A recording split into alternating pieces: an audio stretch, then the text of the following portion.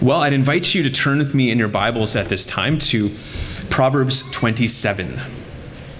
Proverbs 27. So we concluded our series on John last week, and in a few weeks we're going to be getting another new sermon series through the book of Philippians, which I am especially excited about because I think its overall message of pressing on, of always moving forward in the faith, of progressing in things like joy and evangelism and contentment and unity and serving others and so many other things. It is such a timely message, such a timely book. And so I'm looking forward to that. And I would just encourage you, as you anticipate that, starting that in a few weeks, to consider reading through the book of Philippians and maybe read through a couple times. It's very short, just four chapters, uh, just in preparing for that. But today we'll be looking at a passage from a very different book in a very different time that also contains, nevertheless, a very timely message on a topic that I've been thinking a lot about lately, and that's the topic of friendship.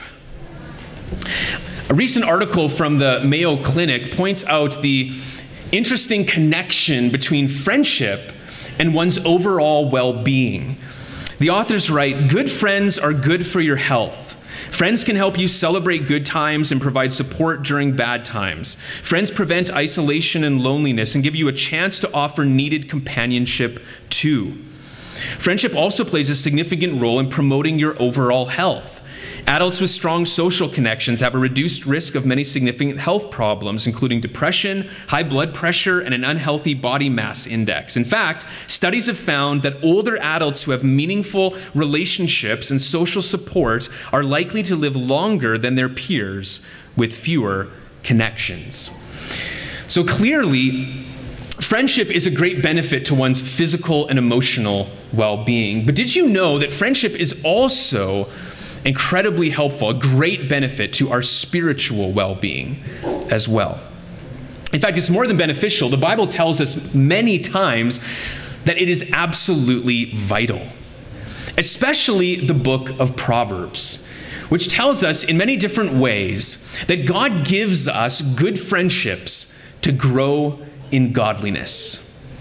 It's a truth that is maybe best summed up in a, in a well known verse that we're going to primarily land on today Proverbs 27, verse 17, where King Solomon, the wisest man who ever lived, writes this about friendship.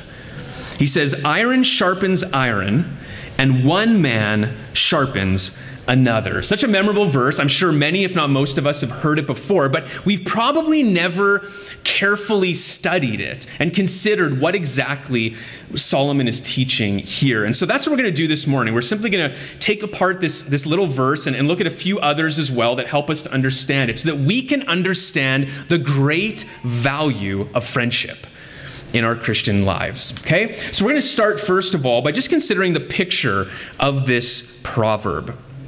Now, you might have in the marginal notes uh, of your Bible, most translation have it this way. Solomon literally writes, as sharp as iron sharpens iron, so one man sharpens the face of another. Now, that seems like kind of a strange expression until we realize that that Hebrew word is also used often in the Old Testament to describe the blade, or like the face, sometimes we'll talk a blade that way. Uh, the blade of an axe or a sword.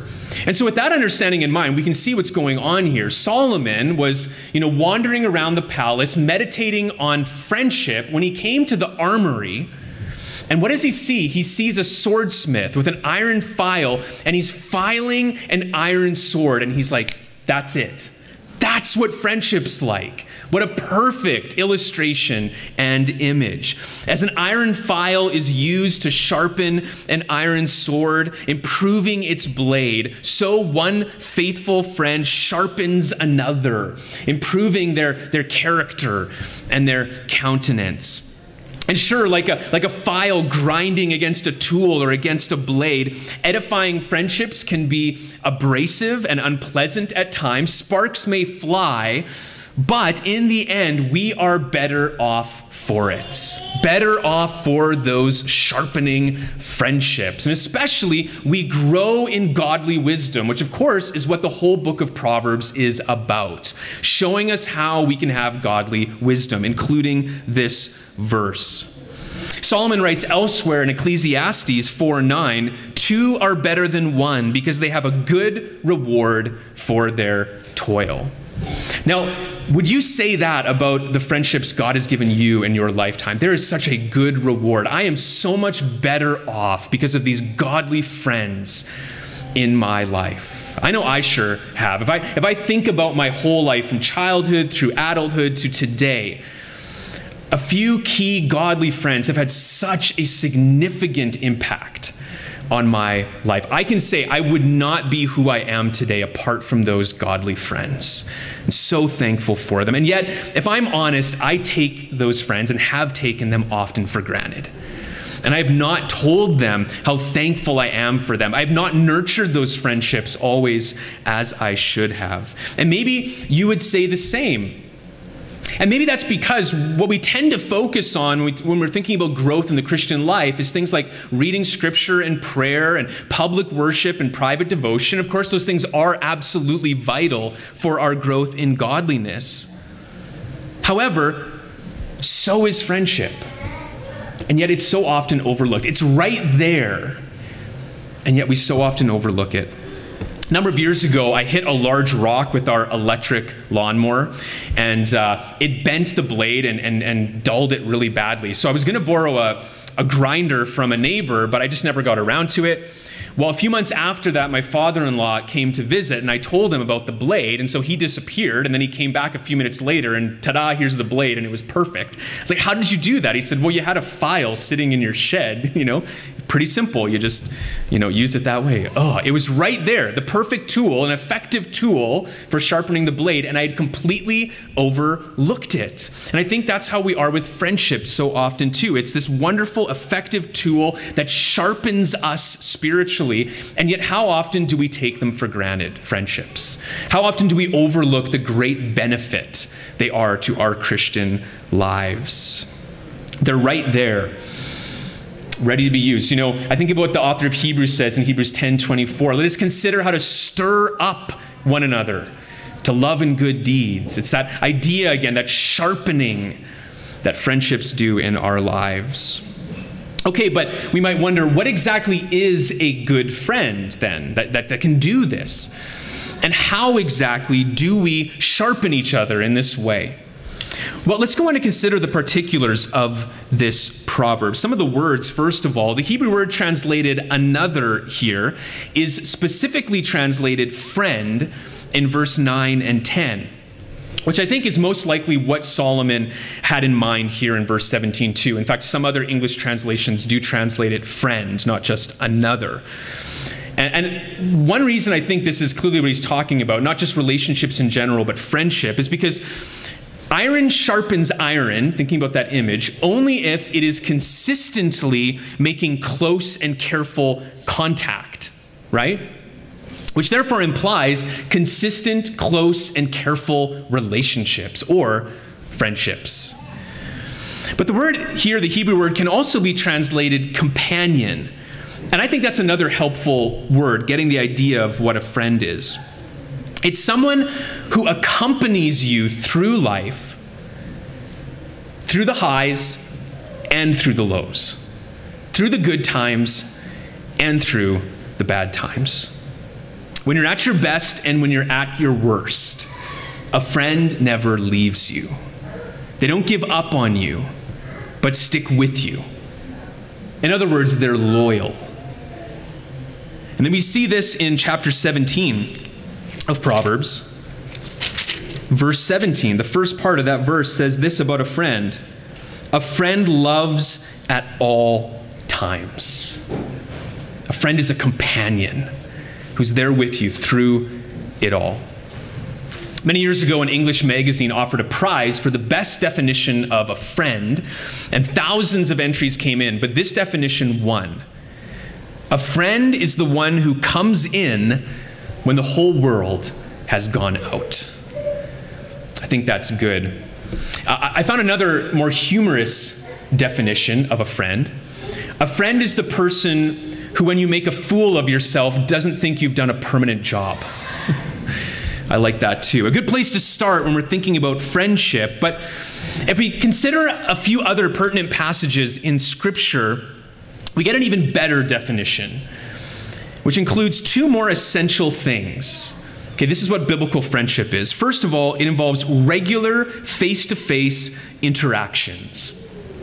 In Exodus 33 11, we read an amazing statement about Moses' friendship with God. It says, Thus the Lord used to speak to Moses face to face as a man speaks to his friend. In other words, there was personal communication and communion on a regular basis, which tells us that, that God's idea of friendship it's more than just being an acquaintance.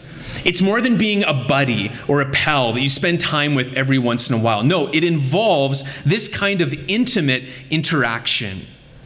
I mean, just imagine what, what we're reading here that God personally, somehow face to face, though we know not in, a, in an ultimate sense, because when Moses said, God, can I see you? He said, Well, you'll die if I do. But however, this worked out in, in the most intimate way possible for a human to be in the presence of God, God revealed his will regularly to Moses face to face. And then Moses poured out his heart to God face to face, something we see often, excuse me, in the Old Testament. That's the heart of friendship. And it's one of the greatest blessings we can experience in this life having a friend. George Eliot said this, I love this. Oh, the comfort, the inexpressible comfort of feeling safe with a person, having neither to weigh thoughts nor measure words, but to pour them all out just as they are, chaff and grain together, knowing that a faithful hand will take and sift them Keep what is worth keeping, and then with the breath of kindness, blow the rest away. What a gift that is to have those kind of relationships. Friendship involves this kind of regular face to face interaction, which then leads to the second part the bonding of souls in mutual love. Deuteronomy 13:6 speaks of a friend who is as your own soul. Which is the very same thing that was said about Jonathan and David and their famous friendship. In 1 Samuel 18:1 it says the soul of Jonathan was knit to the soul of David and Jonathan loved him as his own soul. That is a remarkable statement of what biblical friendship should be and can be a knitting together of souls. And let me just say this this was speaking about men. Okay, I think we, we women, you might be thinking, yeah, that's what friendship's like. I've experienced that. And men are like, whoa, that's, nope, right? That's too close for me, too intimate for me. This was Jonathan and David, like two of the greatest warriors of all time. David, who was known for killing his tens of thousands, right? Like these were men's men. And it says their souls were knit together in mutual love. This is the heart of friendship as well. And love in the sense of this self giving to each other. This self giving that changes each other. Someone once said of friendship some people come into our lives and quietly go, others stay a while and leave footprints on our hearts, and we are never the same. Church, that's what real biblical friendship is like. That profoundly shapes us, that sharpens us spiritually as iron sharpens iron physically. Now, how? How exactly do these face to face, intimate, godly friendships do such things? Well, for one thing, we are just naturally influenced by those we spend time with, right? Likes and dislikes, habits and hangups, good behavior, bad behavior rub off on us. Which is why it's so important that we spend most of our time with godly friends. And we see this in Proverbs 13 20. Proverbs 13:20 says this Whoever walks with the wise becomes wise, but the companion of fools will suffer harm. Pointing out the importance of this and particularly choosing godly friends, Puritan Thomas Watson wrote Man, being a sociable creature, is mightily encouraged to do as others do, especially in an evil example. For we are more susceptible of evil than we are of good. Sickness is sooner communicated than health. Friends, we are just naturally influenced by those we're around, either towards godliness or, as he said here, away from godliness. But as we look at the immediate context of our text, we also discover two more specific ways that good and godly friends influence us to godliness. And this first is this God, uh, good friends grow us in godliness first by their correction. So verses 5 and 6 of Proverbs 27. Better is open rebuke than hidden love. Faithful are the wounds of a friend.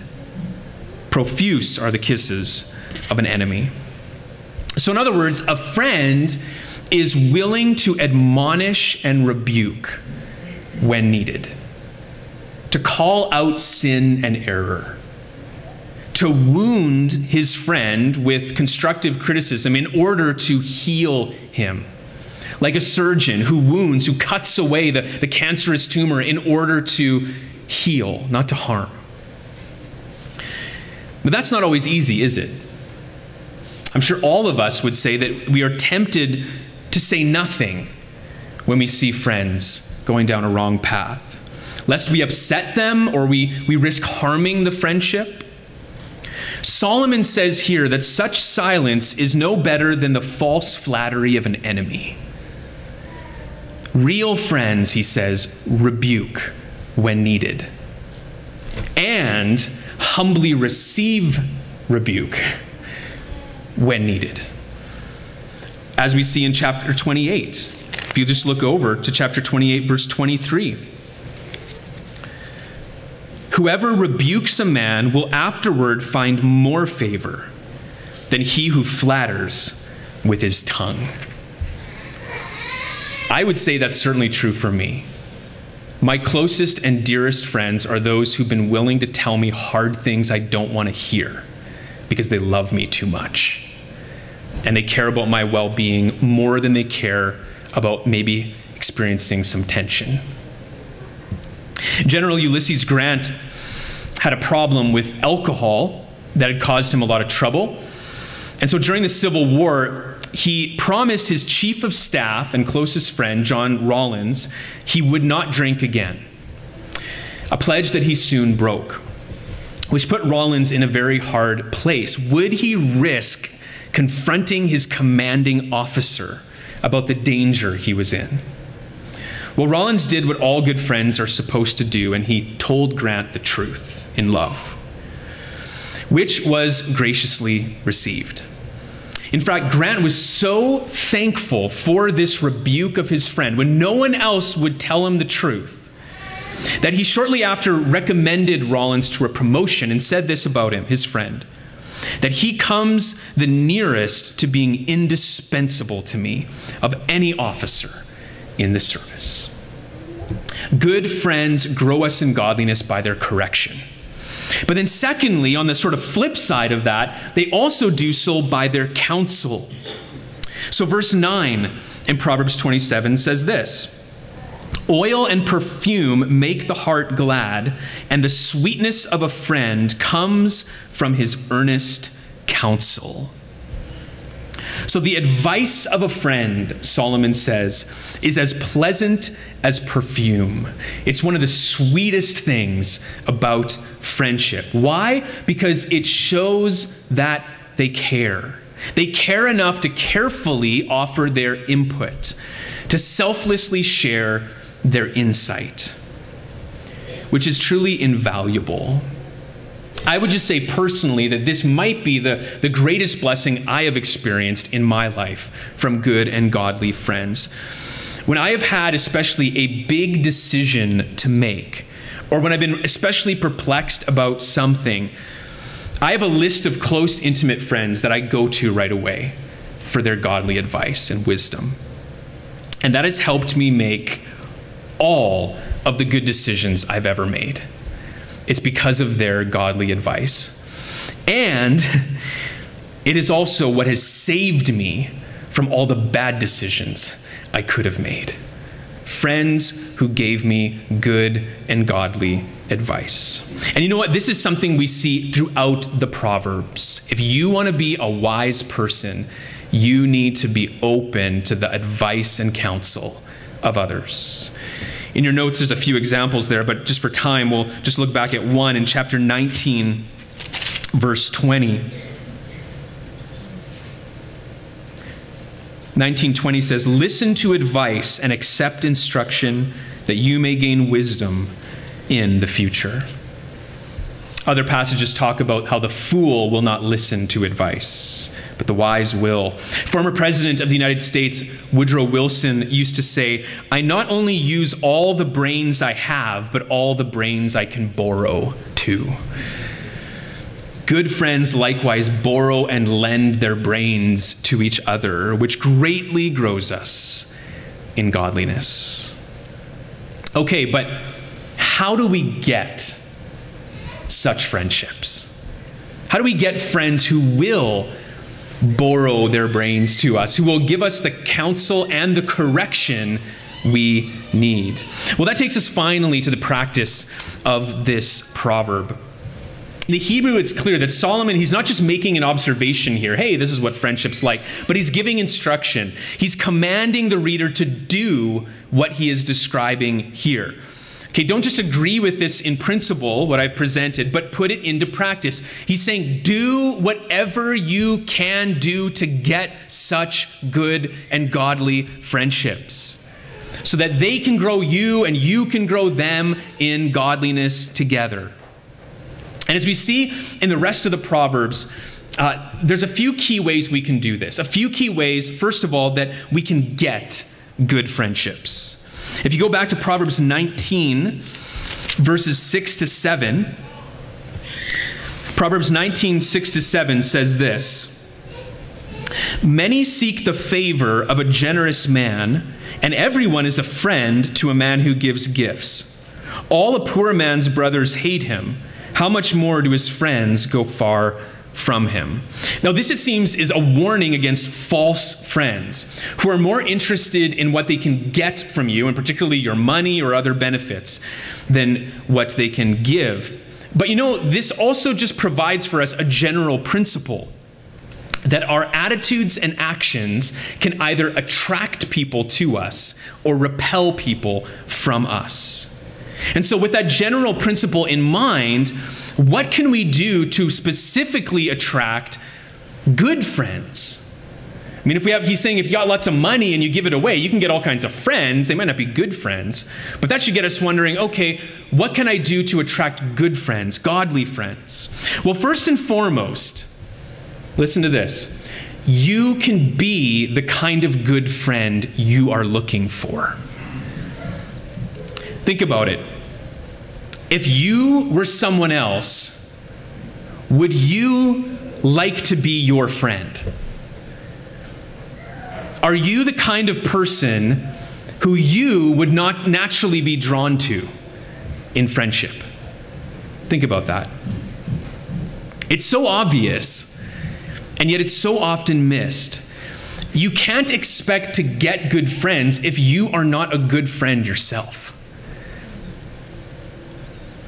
But if you are one, you will soon have one. You will soon have many friends. As an observant poet wrote, I went out to find a friend, but could not find one there. I went out to be a friend, and friends were everywhere. So true. Now, of course, the kind of friend that you and I and everybody wants to be is, first and foremost, courteous and caring. Someone who doesn't put us down, but builds us up, who has our best interests in mind. A principle that is plainly laid out in Proverbs 22, verse 11. Proverbs 22 11 says this He who loves purity of heart and whose speech is gracious will have the king as his friend. Simply put, no one likes to be around rude, abrasive, negative, critical people. It's unattractive. Who wants to be around anyone like that? Right? But everyone likes to be around polite, thoughtful, positive, encouraging people. And so, if you're having trouble making good friends, you might want to consider which describes you. Are you polite or are you rude? Are you abrasive or are you thoughtful? Are you negative or are you positive? Are you critical or are you encouraging? But even more so, what will attract good friends to you? Listen to this, so important. What will attract good friends to you more than anything else is if you are a good listener. And if you are sincerely interested in other people and in what interests them. This is a quality that is so lacking in our self obsessed society. That if you can learn to do this, to be genuinely interested in others and a good listener, you will have good friends lining up at the door because it is sadly so rare. Someone wisely said, You can make more friends in two months by becoming interested in others than you can make in two years trying to get others interested in you. No wonder the book of Proverbs so often warns, so often warns about talking too much, while commending those who wisely keep a tight rein on their tongues. We see this throughout Scripture, don't we? The fool babbles on and on and on. The wise man listens carefully. In Proverbs 17, 27 is one example, 27 and 28, really. Whoever restrains his words has knowledge, and he who has a cool spirit is a man of understanding. I love this. Even a fool who keeps silent is considered wise. So there's a few tips from Proverbs on how to get good friendships. But we also find in Proverbs instructions about how to guard good friendships. Proverbs, uh, if you go just back to 1628, 1628 says this A dishonest man spreads strife, and a whisperer separates close friends. We read essentially the same thing uh, just in the next page, chapter 17, 9. Whoever covers an offense seeks love, but he who repeats a matter separates close friends. Simply put, those with loose lips will very quickly lose friends. They cannot keep a secret, but are quick to spread news that's not theirs to share. In other words, they gossip. On the other hand, those who are trustworthy have no trouble having friends. Those who can keep a confidence keep friends for life, which is such a precious gift. A recent survey found that more than 40,000 Americans that the number one quality valued in friendship is the ability to keep confidences. That's what matters most to friends. And so that's one way we can guard good friendships. But then finally, Proverbs also tells us how to grow good friendships. We, we saw earlier in chapter 17, 17 uh, that uh, a friend loves at all times. And then if we go to chapter 18, verse 24, we read this, which just kind of builds on that. 1824 says, A man of many companions may come to ruin, but there is a friend who sticks closer than a brother. So we know mutual love, of course, is at the heart of good friendships.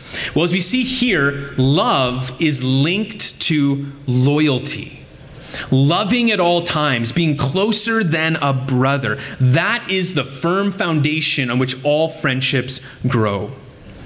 We will never experience this biblical iron sharpenings iron principle of friendship if we move on from one friend to the next every few years. If we abandon our friends, especially, at the moment when they need us the most. Two friends were out hunting when one looked up and saw a grizzly bear staring at him. He took off running. The other friend shouted out, Hey, don't you know you can't outrun a bear? That's okay, I don't have to, the friend said. I only have to outrun you. Not the kind of friend we would be looking for. But is that in other ways what our friendships might be like? As soon as it gets real, we're gone. As soon as being a friend means making sacrifices for their sake, we bow out. This is too much. I'll let someone else do that. As soon as we're giving more than we're getting out of a friendship, do we leave? Do we back off? You know, the most striking feature of good friendship in the Bible is the firm commitment to having a level, loving loyalty for friends, especially when they are going through difficult times. I think of the many faithful friends of the Apostle Paul who didn't abandon him when he suffered greatly for the gospel in prison. Timothy, who in Philippians 2 says, did not seek his own interest, but served Paul while in prison. Or Epaphroditus, who ministered to Paul while imprisoned in Rome. Or most notably, Onesiphorus, who in 2 Timothy 1, Paul says, didn't turn, turn away from him when everyone else did, but earnestly found Paul and refreshed him and was not ashamed of his chains. That's a good example of real friendship and how to grow it. And yet, the greatest example, of course, of faithful friendship is found in Jesus Christ, and specifically in the cross where he demonstrated the loyal love of friendship more than anywhere else. Through which his death he reconciled us to God so that we could be called his friends. He sacrificed everything, he laid down his life in loyal love for us. John 15, 13, greater love has no one than this, that someone lay down his life for his friends. That right there is the very essence of biblical friendship. The gospel shows us more clearly than anywhere else what it means to be a good friend, which is something we all should want to be and want to experience. Because God gives us good friends to grow in godliness. That's what we've just seen. It's one of the main ways that the Lord sharpens us spiritually, and likewise that we can then sharpen others mutually. And so, if you have those kind of friendships already today, let me just encourage you thank God for them. And go and tell your friends how much you appreciate them. And do what you can to nurture and guard those relationships because they are a precious gift. But if you don't feel like you have those kinds of friendships just yet, I would encourage you today to start to pray about it, to ask God to first of all make you the kind of good friend you want to have.